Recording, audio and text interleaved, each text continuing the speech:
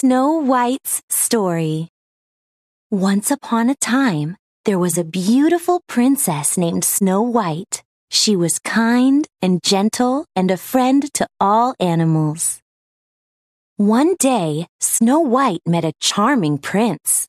As they sang a song of love together, Snow White's evil stepmother, the queen, watched them. The queen was so jealous of Snow White's beauty that she ordered her huntsman to kill the young princess.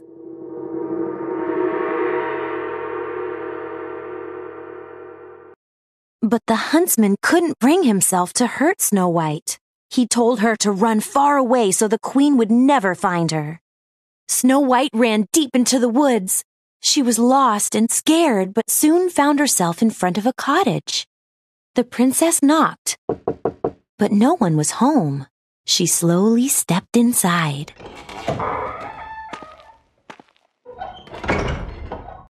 The cottage was a mess. With the help of her forest friends, Snow White cleaned every nook and cranny. Maybe whoever lives here will let me stay, said Snow White. Upstairs, Snow White found seven little beds. She thought they belonged to children. Tired from cleaning, Snow White yawned as she curled up on the beds and fell asleep. Meanwhile, the seven dwarfs were heading home from a long day of working in a jewel mine. They were anxious to get home to their cottage in the woods.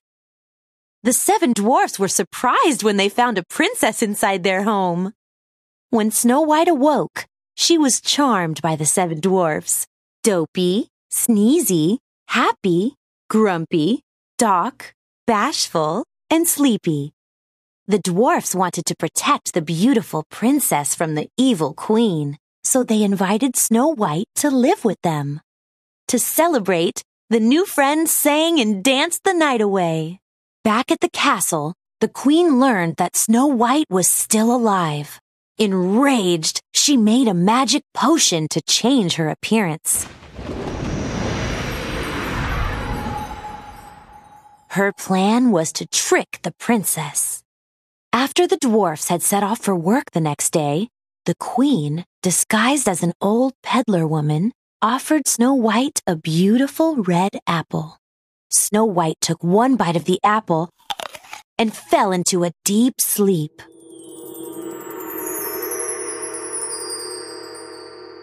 The queen had poisoned her. When the dwarfs came home, they chased the queen to the top of a stormy mountain. Suddenly, lightning hit the mountain and the queen fell, never to be seen again. But Snow White was still in a deep sleep. The seven dwarfs kept watch over her day and night. Finally, Snow White's Prince Charming arrived. He had been searching everywhere for the beautiful princess he had sung with so long ago. The prince awakened Snow White with love's first kiss. The spell was broken. Snow White and the prince returned to the kingdom and lived happily ever after. The end.